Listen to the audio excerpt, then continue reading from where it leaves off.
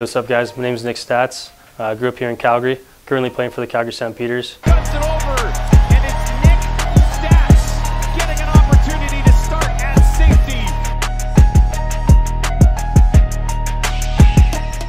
safety. College, I played for the University of Calgary Dinos, and I'm going to be coaching DBs as well.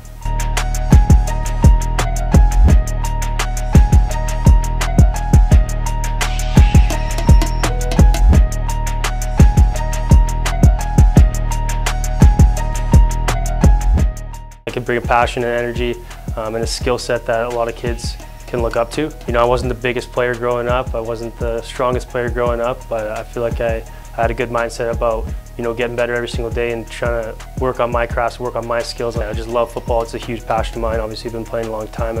I couldn't imagine myself doing anything different. So just passing along the, the, knowledge that I have to someone and just seeing them improve, you know, that brings a lot of joy to me. I think, you know, coming out to ALFA Sevens would be beneficial for anyone who's looking to improve their game.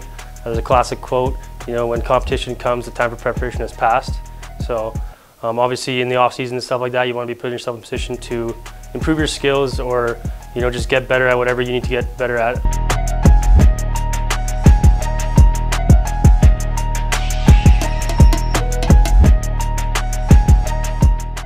My name is Nick Statz and we're the ALFA Sevens. Let's go.